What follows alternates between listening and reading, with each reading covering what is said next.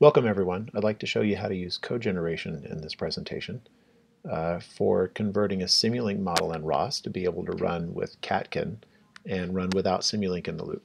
So we're going to generate code from an existing Simulink model and have it run without needing to have Simulink open. So let me show you how to do this. Uh, this is a continuation of the example that we just ran with TurtleSim. Uh, if you haven't watched that video, you might want to watch it to see the kinds of things we had to do in order to make this model work. But what we're going to need to do next is to create a Catkin workspace that we can use. So in my temp directory here, I have a Simulink directory. Uh, let's make a new directory, uh, CodeGen workspace. Let's cd into my CodeGen workspace, make dir source, cd into source, and catkin init workspace. And now here, catkin make Golden. We got it all taken care of there. Uh, so next what I'm going to do is I'm going to make some changes inside my spiral MATLAB Simulink block.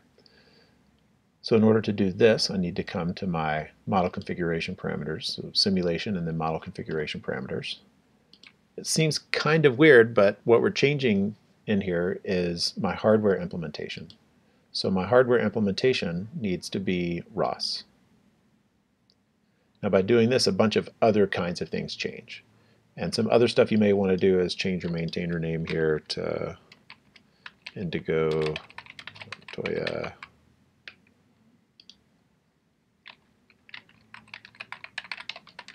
Uh, that's probably not exact. That might actually be somebody's email, so I won't mess that up.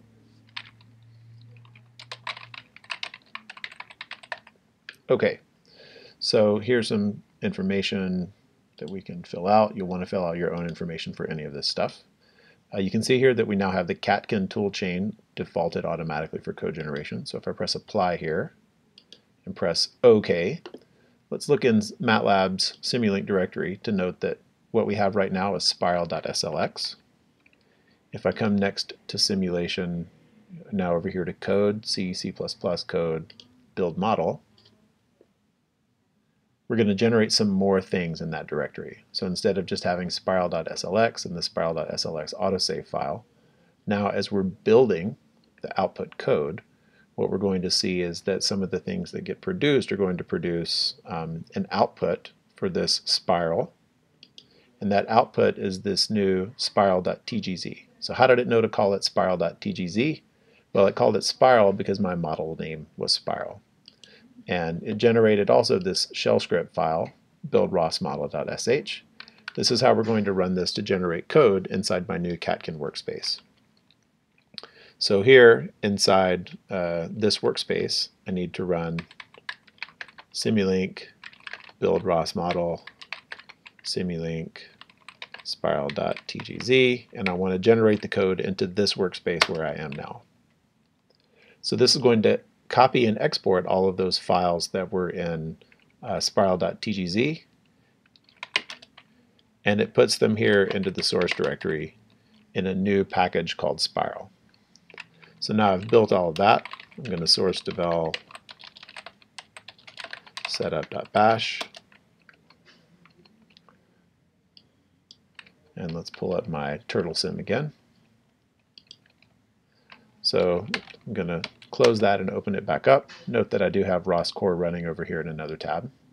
So now my turtle is brand new and I'm going to ROS run spiral, spiral node, and now my turtle's taking off and doing amazing things. So interesting things about the um, MATLAB version versus the, the Simulink version and any other generated code versions have to do with the frequency at which they run, well as well as uh, you know the output code that that might be involved. So we still get you know some of the strange behavior here that's built into the model. Um, but uh, one interesting thing about this is that I can close Simulink and close MATLAB. And with each of these things closed, I can now run the code that I produced outside of the MATLAB environment. So generating my code allows me to pass code along to someone else without them having to have um, the ROS uh, robotic system toolkit in MATLAB. The generated code doesn't require that in order to run, uh, which is a really nice feature. So hopefully this was useful for you.